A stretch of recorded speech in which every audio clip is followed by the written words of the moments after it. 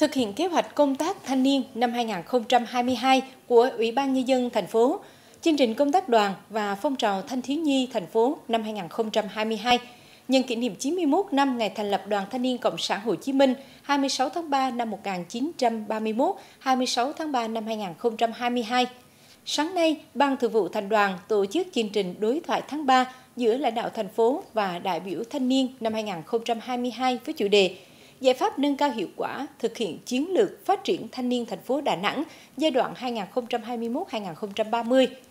Ủy viên dự khuyết Ban chấp hành Trung ương Đảng, Phó Bí thư Thường trực Thành ủy, Chủ tịch Hội đồng nhân dân thành phố Đà Nẵng Lương Nguyễn Minh Triết, Ủy viên Ban Thường vụ Thành ủy, Phó Chủ tịch Thường trực Ủy ban nhân dân thành phố Hồ Chí Minh và Ủy viên Ban chấp hành Trung ương Đoàn, Thành ủy viên, Bí thư Thành đoàn Nguyễn Mạnh Dũng đồng chủ trì chương trình đối thoại. Chương trình đối thoại tháng 3 được tổ chức vào tháng thanh niên hàng năm là diễn đàn để lãnh đạo thành phố nắm bắt tình hình, lắng nghe những đề xuất kiến nghị của thanh niên nhằm phát huy vai trò của thanh niên trong các hoạt động phát triển kinh tế xã hội, xây dựng tổ chức đoàn vững mạnh. Chương trình đối thoại năm nay với chủ đề Giải pháp nâng cao hiệu quả thực hiện chiến lược phát triển thanh niên thành phố Đà Nẵng giai đoạn 2021-2030 càng lột tả hơn sự quan tâm đặc biệt mà lãnh đạo thành ủy, hội đồng nhân dân, ủy ban nhân dân thành phố dành cho thanh niên. Tại diễn đàn, các đại biểu thanh niên đã đưa ra nhiều ý kiến đề xuất đến lãnh đạo thành phố xoay quanh các nội dung về các chỉ tiêu, mục tiêu, nhiệm vụ đã được xác lập tại nghị quyết số 78 ngày 17 tháng 12 năm 2021 của Hội đồng Nhân dân thành phố về phát triển thanh niên thành phố Đà Nẵng giai đoạn 2021-2030 các chủ trương chính sách của thành phố trong các hoạt động phát huy vai trò của thanh niên trong các lĩnh vực phát triển kinh tế xã hội, xây dựng chính quyền,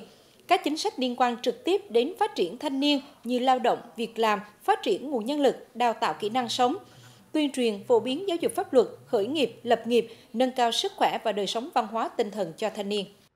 Được đến với chương trình đối thoại ngày hôm nay thì bản thân em cảm thấy rất là tự hào, tự hào đại diện cho thanh niên Đà Nẵng à, để được tham gia đối thoại, lắng nghe những chia sẻ của các đồng chí lãnh đạo cũng như là những mong muốn đề xuất của các bạn đoàn viên thanh niên để có góp phần nâng cao cái chất lượng uh, chiến lược thanh niên thành phố Đà Nẵng giai đoạn 2021-2030. Cũng rất mong muốn là các cấp lãnh đạo các ngành à, trong thời gian đấy sẽ có quan tâm nhiều hơn trong đối với công tác thanh niên, nhất là trong cái định hướng nghề nghiệp việc làm cho thanh niên. Cái thứ hai là chính sách đối với là cán bộ đoàn. Hiện nay ờ, đối với cán bộ đoàn cấp xã phường thì ờ, có những cái khó khăn nhất định. Rồi vì ờ, đối với nhất là các bạn là phó bí thư đoàn phường thì hiện nay là